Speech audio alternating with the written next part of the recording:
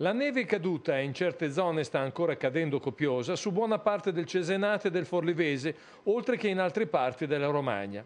Come previsto, infatti, l'ondata di maltempo, dopo aver imperversato nelle scorse 48 ore sulla costa adriatica, in particolare nel Riminese, si sta gradatamente spostando verso l'entroterra. Le precipitazioni nevose hanno provocato forti difficoltà al traffico. I vari piani neve predisposti dalle amministrazioni comunali stanno lavorando a pieno regime con spazzaneve e spargisale, ma nelle zone dove la neve è caduta e dove continua a cadere si viaggia a passo d'uomo. Con l'arrivo del buio e il conseguente abbassamento delle temperature, l'insidia ghiaccio si fa poi estremamente pericolosa.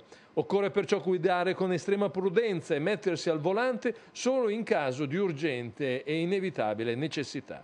Il Comune di Rimini, come già fatto dal Comune di Misano, mentre altre amministrazioni locali stanno valutando il da farsi, ha deciso per domani la chiusura di tutte le scuole, una decisione assunta sulla base dell'allerta del servizio meteo della protezione civile della regione Emilia-Romagna che prevede fino attorno alle 12 di domenica 19 dicembre precipitazioni nevose con accumuli fino a 20 cm e temperature fino a meno 12 gradi.